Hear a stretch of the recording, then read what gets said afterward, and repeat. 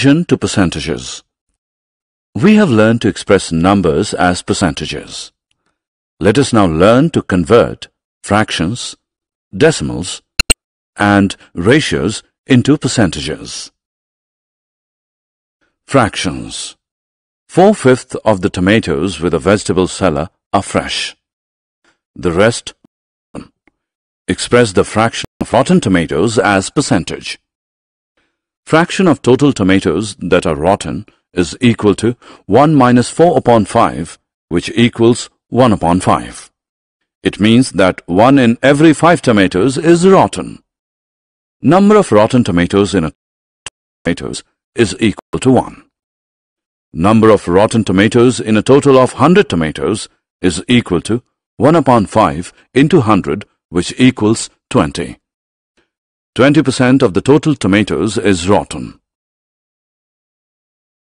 Decimals The population of females in a village expressed in decimals is 0.55. Express the population of males in the village as percentage. Population of females is equal to 0.55 which equals 55 upon 100 which is equal to 55%.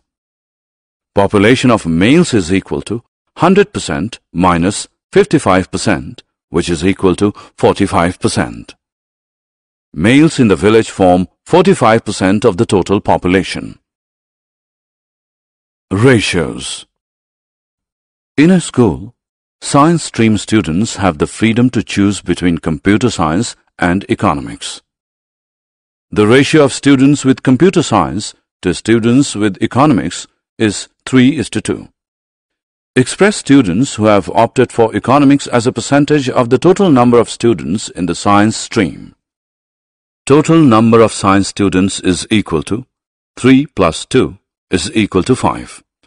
Economics students in every 5 science students is equal to 2. Economics students in every 100 science students is equal to 2 upon 5 into 100 which equals 40. 40% of the science students have opted for economics.